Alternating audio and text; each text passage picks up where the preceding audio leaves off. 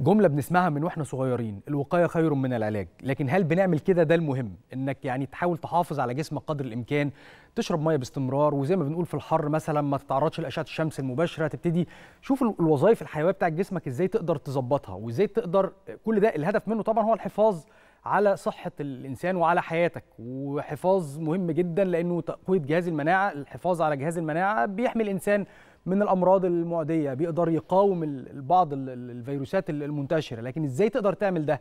إزاي تقدر تحقق الوقاية دي؟ أهمية ال- ال- ما تقوم به الدولة من مبادرات مختلفة للحفاظ على صحة المواطنين؟ كل هذه التفاصيل هنعرفها دلوقتي في فقرتنا من الدكتورة إيمان كامل عميد معهد البحوث الطبية والدراسات الإكلينيكية اللي منورانا صباح الخير عليك يا دكتور. صباح الخير. أهلا يا أهلا. بحضرتك. منورانا يا. فندم. منور بيك. أهلا وسهلا. آه، في في البداية إيه هو مفهوم الوقاية؟ الوقاية اللي هو إن أنا قبل ما يحصل الخطر أكون واخدة احتياطاتي. جميل جدا. مش استنى ما يحصل وأعمل مواجهه للأزمة لا ده أنا أواجه الأزمة من قبل ما تحصل في أي شيء. لكن وقايه الجسم دي أهم حاجة لأن أغلى ما منحنا الله هو الصحه فمهم قوي فعلا زي ما بيقولوا الصحة تاج آه، على رؤوس الأصحاء لا يراه إلا المرضى. فإحنا مهم قوي إن نحافظ على هذا الكنز. Health is wealth. ثروتنا الحقيقية هي صحتنا. صحيح. وعشان نتأكد من ده ربنا يحفظنا جميعا ويشفي جميع مرضانا يا رب. ادخلوا يوم واحد بس في مستشفى زيارة مريض ولا حاجة. هتتأكدوا فعلا إن إحنا في نعمة كبيرة جدا علشان في الجو ده كمان متأثرين جدا فبنحاول بقدر الإمكان ننشر هذا الوعي. طيب إزاي نقدر نعمل كده يا فندم؟ إزاي نقدر نحافظ على صحتنا؟ إزاي نقدر نحافظ على آه، جسمنا؟ الوظائف الحيوية بتاعت الجسم تكون بشكل طبيعي. آه، الحقيقة حددت لنا الأمم المتحدة لكل العالم 17 هدف. ثالث هدف منهم هو الصحة والرفاه. يعني دي أهداف التنمية المستدامة. دي أهداف التنمية المستدامة للامم المتحدة. يجي معاها بقى خطة مصر بقى ورؤيتها 2030 آه، بتتماشى مع هذه الأهداف تمام. وهذه ال- ال- الخطط يعني الغايات اللي إحنا المفروض عايزينها. بنحدد من أهمها آه، محور الصحة من اهمه مثلا تقليل عدد الوفيات في الأطفال آه، دون الخامسة. تقليل آه، عدد الأمهات ووفياتهم ده مهم قوي إن أنا آه، يعني استباقيا أجهز نفسي إن ما يحصلش حاجة زي كده. الأمراض اللي هي الغير معدية اللي هي بنقول عليها السرية الغير معدية دي الغير سرية الغير معدية دي مهمة جدا هي زي السمنة طبعا وهو مرض الأمراض. آه، وبيليه بقى بعديه السلسلة الكبيرة من السكر والضغط وارتفاع دهون الدم وكل ما آه، يأتي في هذه القائمة من أمراض تقريبا 220 مرض يخلفوا بس للسمنة. فدي من أهم المحاور اللي المفروض آه، بنركز عليها جدا. آه، من مهم قوي برضو محاربة التدخين والمخدرات. مهم آه، التطعيمات بالنسبة للأطفال. كل دي حاجات وقائية علشان ما يحصلش الأزمات. طيب عظيم جدا. مهم برضو نعرف من حضرتك إيه يعني السبل اللي اتبعتها الدولة خلال الفترة اللي فاتت في الحفاظ على يمكن حضرتك ذكرت فيها عمرية معينة اللي هي الأطفال دون سن الخمس. سنوات والحفاظ على الأمهات والحوامل. كان إيه السبب يا فندم اللي بيؤدي لده والدولة عملت إيه في هذا الإطار إن في فترة زمنية سابقة كانت طبعا دي حاجات أيام الولادات ما كانت آه، خارج المستشفيات مم. ما كانش فيه التزام بالتطعيمات الحاجات دي قديمة هيستوري يعني كانت بقت خلاص لكن إحنا دورنا أنا أتشرف إني في المعهد ال- البحوث الطبية والدراسات الإكلينيكية وإحنا آه، يعني معهد من 14 معهد في المركز القومي للبحوث. فده حاجة مهمة جدا إحنا دورنا بحثي بحثي إكلينيكي ولينا دور خدمي يعني بنقدم برضو خدمات طبية تمام من خلال الخدمات الطبية ومن خلال أبحاثنا بننشر هذا الوعي وبنعمل حاجات زي markers أو حاجات دلائل حاجات تبين لنا إمتى هيحصل المرض مم. وعن طريق استخدامات كتيرة زي أهمها دراسة الجينوم المصري مثلا تمام. ودراسة بعض المواد اللي ت anticipate أو ت expect اللي هو توقع. التوقع مم. التوقع ب- بإن يحصل حاجة قبل ما تحصل وده. بقى قمة العلم وهو ده اللي الواحد يستخدم أبحاثه في التطبيق أنا الحقيقة بزعل جدا لما يبقى عندي كم كبير من الأبحاث وال- وطبعا الباحثين اللي عندنا ما شاء الله إحنا أكبر معهد في المركز فعدد كبير جدا من الباحثين عشان يترقوا بي- بيعملوا مم. أبحاث كتير وبتتنشر منها طبعا وبتتنشر آه. دولي الحقيقة كل هدفي التطبيق طبعا يعني ما فيش ال- الأبحاث حبيسة الادراج دي لا قيمة لها يا فرحتي بيها إن هي عمالة تتنشر وتتوزع ويتعمل لها حاجة اسمها citation أو استشهاد. ودي كل ما الاستشهاد بالبحث بتاع حضرتك أكتر كل ما قيمتك البحثية تزيد. طبعا طبعا. طب أنا مرجعية إيه لأبحاث؟ ثانية يعني. أنا كمصر استفدت إيه؟ يعني أنا كدولة بقى استفدت إيه؟ أنا عايزة آخد هذا البحث أطبقه في شيء. مم. ويا سلام لو شيء كمان يلمس بقى حاجات المواطن المصري. يعني آه، حاجات آه، زي في التغذية حاجات في مثلا تصنيع كمان. مم. يعني حاجات الصناعات الدوائية مهمة قوي. حاجات آه، آه، تفيد تفيد المصري ويحس المصري إن فعلا في علماء بيشتغلوا وبيبحثوا عشان يخلوا مثلا آه، يشخصوا له مرض بدري قبل ما يحصل. دي بقى رائعة. يعني وأنا بشكر الحقيقة هنا المبادرات الرئاسيه مم. المبادرات دي أنا فاكرة إن بعض الأطباء يعني الطبيب ده المفروض أكتر واحد مخلي باله. كانوا بيعدوا بس قدام المبادرة كده يقولوا طب ما نروح نقيس الضغط والسكر يلاقوا عندهم والله وكانت دي البداية. آه، الحملة الحقيقة ال- ال- التهاب الكبد الوبائي جي آه، سي دي آه،. يعني مم. الحقيقة إن إحنا قضينا عليه دي حاجة كويسة قوي فيما بعد في حاجات كتير بنكتشفها نب- يعني مع العلم الزيادة ومع نشر هذا العلم والوعي وطبعا وسائل الإعلام لا, لا ننكرها آه، ده بيفرق قوي الناس دلوقتي هل كان زمان في تخصص التغذية العلاجية منتشر كده ما كانش. حد يعرفه. كان في يا بطنة يا جراح يا نسا مم. طبيب وجراح ومولد. ما فيش كده. كان أكتر حاجة يحطوا ششم في العينين ولا حاجة علشان عينيهم وخلاص على كده. دلوقتي في تخصصات كتيرة وتخصصات نادرة. ونعرف من قبل ما يحصل المرض وتخصص التغذية العلاجية إزاي أغذي ال- المريض عشان يبقى سليم مناعته قوية. وكمان علشان آه، لو حصل مرض المشاكل ما تطلعش. ولو لا قدر. الله آه، حصل يعني خلاص المرض ومشاكله نتعامل إزاي بالتغذية السليمة على تقليل هذه المضاعفات.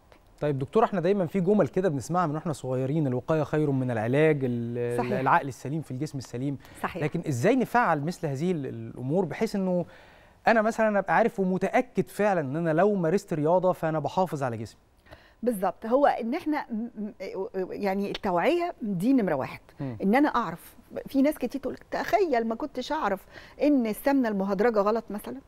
ناس ما كانتش تعرف. لحد دلوقتي؟ لا لا في ناس كتير. مم. في ناس كتير ولسه امبارح حد من ال- القامات يعني بيقول أنا بشتري آه، حاجة معينة مكتوب عليها دهن نباتي قلت. له أنا مش عايزاك تاخد الدهن النباتي ده الدهن النباتي لازم يكون سائل في درجة حرارة الغرفة العادية لكن. لو دهن نباتي صلب يعني زيت آه، آه، بقى مهدرج مم. في درجة حرارة الغرفة يبقى صلب معنى. كده إيه مع استك... مع تكرار استخدامه بيعمل تصلب شرايين وبيعمل أكسدة في الجسم وممكن سرطانات. طب ما دي ده وعي. هو ده بقى تقدم السن كمان تأثيره هيكون أكبر وأكبر. بالظبط. إيه الحاجات المصنعة الل- اللحوم المصنعة كتير ال- الحاجات المواد زي المونوصوديوم جلوتاميت أو أحادي جلوتاميت الصوديوم اللي بيبقى فيه إضافات كت- كتير على الحاجات المصنعة. الأمهات لما بتعرف ده بتبتدي تقرأ ال- القيمة الغذائية اللي ورا كل حاجة منتج. مم. لو الطفل خد منها كتير بشكل تراكمي أكيد هيظهر عليه حاجة. وابتدينا يظهر بقى حاجات زي ال ADHD أو اللي هو قلة. الانتباه وكثرة الحركة ال autism حاجات كتير من آه، آه، صعوبات التعلم العصبية الزايدة آه، كتير اللي سمع والسمع والرؤيه تأثروا مم. حاجات نفسية.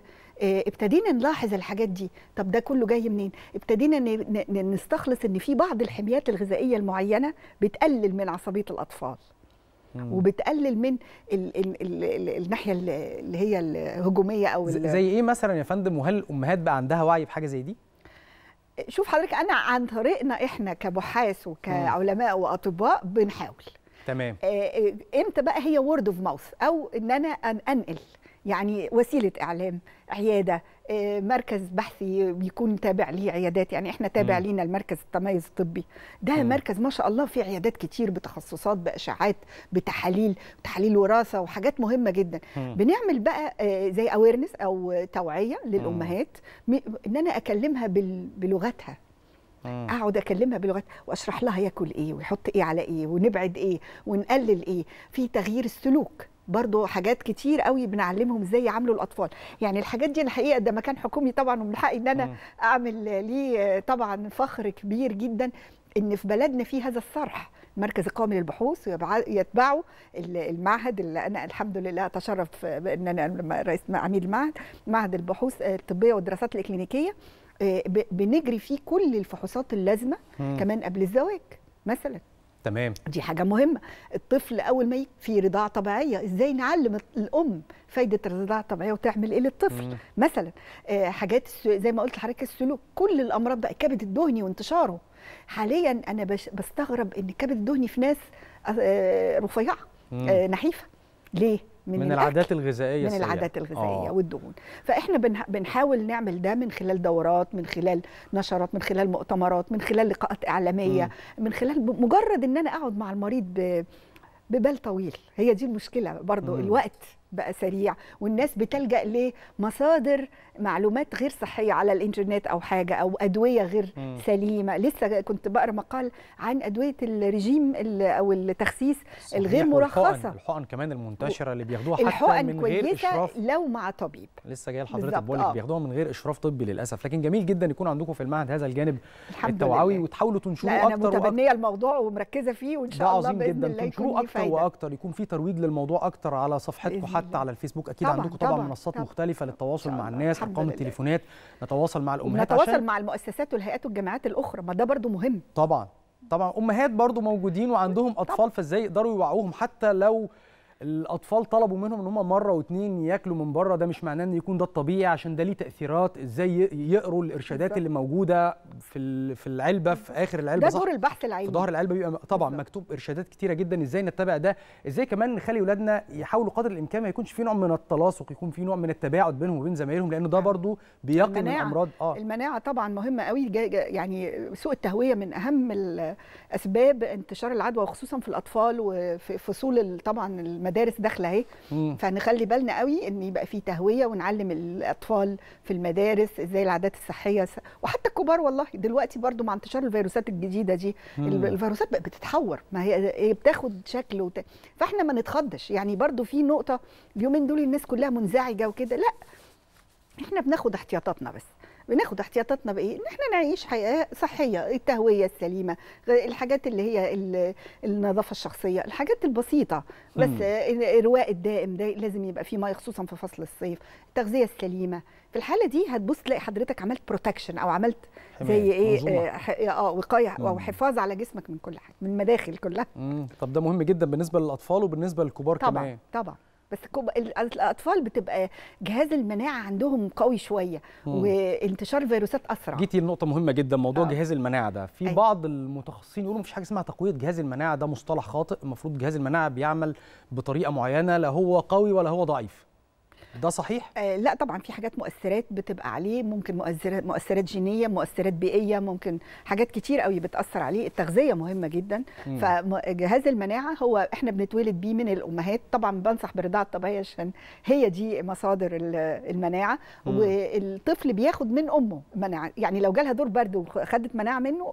بياخد الطفل هذا ال- المناعة مم. لكن آه، طبعا التغذية مهمة قوي عليها دور والبيئة المحيطة عليها دور كبير. فإحنا بنحاول طبعا التطعيمات بناخد بالأسباب. طبعا. ففي تطعيمات ضروري الاطفال تطعمها وكل أم بنصحها إن هي دايما تتابع موجودة في مكاتب الصحة طبعا وليها طبعاً. مواعيد طبعاً. ومجانا. ونراقب الطفل يعني مثلا ظهر أي حاجة أقلب في الجسم كده في جسم الطفل في ظهر طفح جلدي أشوف الحرارة أشوف برضو أتابع. الأم النبيهة بتفرق جدا. بس ما. تبقاش over protective آه، أو مش عايزين اللي هي آه. الاهتمام الزائد عن اللزوم بتبقى موسوسة لا عايزين الاهتمام باتزان طيب عظيم جدا بالنسبة للأكل هل في نظام غذائي معين مثلا ممكن نتبعه حفاظا على جهاز المناعة؟ التوازن اللي هو شرب المية باعتدال آه، علشان طبعا الكلى مهمه قوي والإرواء وسلامة الجلد. آه، والنفس والحاجات دي آه، وطبعا صحة المخ كمان الصحة الذهنية والصحة ال- ال- صحة العقل مهم مم. ليها قوي المية الإرواء من الحاجات المهمة الأكل المتوازن ما بين مجموعات الطعام اللي هي الكربوهيدرات حوالي 55% الدهون بننساها دهون مم. صحية زي زيت الزيتون وممكن مم. زبدة حاجة صغيرة بسيطة كده آه، آه، والبروتينات البروتينات مهمة لأن الأجسام المضادة كلها بروتينات مجموعة الوقاية كلها في الفيتامينات والأملاح والمعادن موجودة في الخضار والفاكهة. فلو خدنا آه، يوميا خضار وفاكهة ولو وحدتين ثلاثة هتفرق جدا كل أنواع الفيتامينات وكل ما كتر الألوان.